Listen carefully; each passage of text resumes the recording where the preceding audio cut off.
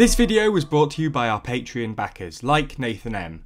Support the channel, get exclusive live streams, early access to videos, behind the scenes posts, the ability to choose our video topics, and more.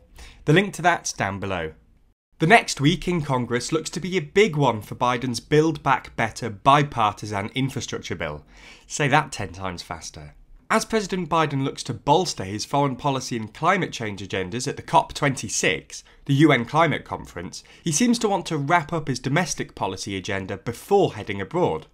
Exactly what's in the final bill is still being hashed out, according to Speaker Nancy Pelosi, but it's looking like the massive $3.5 trillion package we'd expected isn't coming to fruition. Democrats from the Senate, House, and the White House have all been negotiating this infrastructure package for months at this point. The package consists of two distinct bills that President Biden hopes to pass around the same time as each other. The first is a relatively uncontroversial bipartisan infrastructure bill for what's known as hard infrastructure, stuff like roads, bridges, etc. The second is a human infrastructure bill. This is the bill everyone is fighting over and has, thus far, been the hardest to wrap up. The Human Infrastructure Bill included social programs such as an expanded child tax credit, paid family leave, and free community college. Additionally, it would raise taxes on the rich and other groups in an effort to raise revenue just enough to pay for the hard and human infrastructure programs. First, let's focus on the bipartisan and hard infrastructure bill. All signs seem to indicate that this bill will get passed and signed before President Biden heads to Glasgow. The bill boasts 1 trillion in total spending with 550 billion dollars of new spending, some of which will go towards Biden's climate agenda.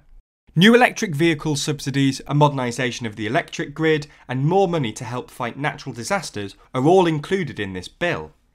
If everything goes smoothly, Biden should be able to sign those climate provisions into law, then jet off to the UN summit to champion them on the world stage. The second, human infrastructure bill, is where trouble has arisen for Biden.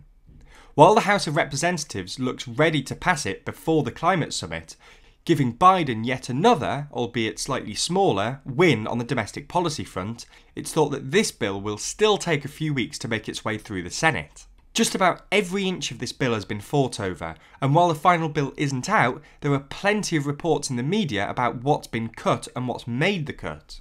The expanded child tax credit passed by Biden early this year looks poised for a cut to only a one year expansion. Similarly, free community college has apparently been cut. Then, while funding for child tax care is still in the bill, family leave has been cut back slightly. Clearly, this bill will be markedly smaller than it was proposed to be. The reason these negotiations have been so brutal is mainly because of a huge schism in the Democratic Party over what their priorities should be. In the House, there's Alexandria Ocasio Cortez and her squad of very progressive Democrats who ideologically are quite aligned with Bernie Sanders. They've been pushing to make the bill as large as possible, at one point wanting $6 trillion in spending for climate programs, paid off, and free college tuition. Importantly, the progressives are also trying to get a new slate of taxes on the ultra rich in order to pay for their plans. They're fighting with the more moderate wing of their party, headed by Senators Joe Manchin of West Virginia and Kyrsten Sinema of Arizona. These moderates want less spending because they're concerned about economic inflation and the effects of higher taxes on business. Neither side wants to pass anything until everything is agreed upon by everyone, since if either group decides not to vote for one bill, the other is sure to die as well. In what must be a disappointment for many progressives, this human infrastructure bill is looking to only be in the 1.5 to 2 trillion dollar range, a big drop from their desired 6 and their already negotiated down 3.5 trillion dollar packages they'd pushed hard to pass for months. Not only would this mean that many of the progressives' desired social programs won't get funding, but it's also being reported that many of their key tax provisions will be cut as well.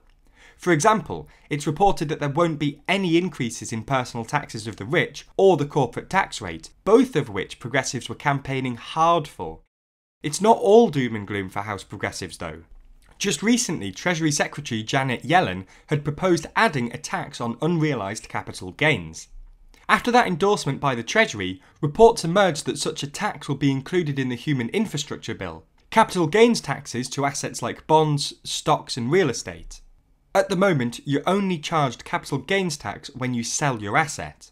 So, if you buy some stocks and they go up in value 10% every year but you don't sell them, you have what's known as unrealised gain, because while your asset has gained value, you haven't actually turned that into cash. Historically, governments have avoided taxing unrealised gains for two reasons. First, if you've put all your money into assets, then you might not have any cash left over to pay your unrealised gains tax. Now, you might be thinking, just sell some of your stocks, rich people, and fair enough. But imagine an old person with no disposable income living at their home that goes up in value. All of a sudden, you've got to pay capital gains, and the only way they can do that is by selling their home. Even if you think that's actually a good idea and it might go some of the way to solving the housing crisis, for example, it's a politician's nightmare. So they've had to avoid it so far. The second reason is that valuing unrealised gains can be a logistical nightmare. It's not a problem with stocks, essentially because there are a load of stocks identical to yours, valuing it is pretty easy, but it's harder with something like real estate. You can't know the real value of your property without, well, actually going to the market and selling it. So, an unrealised capital gains tax would need some sort of annual valuation algorithm, which is bound to annoy voters because they'll always accuse it of overvaluing their stuff. Anyway, we don't know the precise details yet, but reports suggest that this tax would only apply to the super wealthy, so you don't have to worry too much, marking an important progressive win in favour of their agenda.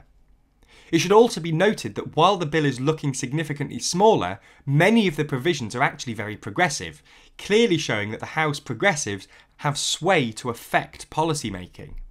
All of these negotiations and votes are very tenuous, with the Senate split 50 50 and only a three vote margin of error in the House, the Democrat majority will have to play everything just right in order to successfully pass these two bills and keep everybody happy at the same time. With that uncertainty in mind, Biden has to try and sell his climate policy to world leaders, no small task in its own right. Whatever the outcome of the hard or human infrastructure bills, we'll be sure to keep you updated on all of the developments. But what do you think? Is this reckless Democrat spending, or has Biden not gone far enough? Let us know your thoughts in the comments down below. And if you want to get even more involved, then you can back us on Patreon, which gets you a whole load of perks from exclusive live streams to early access to videos, behind the scenes posts, and the ability to choose our video topics. The link to the Patreon's down below, and thanks for your support because we literally couldn't do it without you. Also, be sure to subscribe to the channel and hit the bell icon to be notified every time we post a video. And special thanks to our Patreon backers for making videos like this one possible. And if you want to see your name listed at the end of videos just like these people, then be sure to back us on Patreon.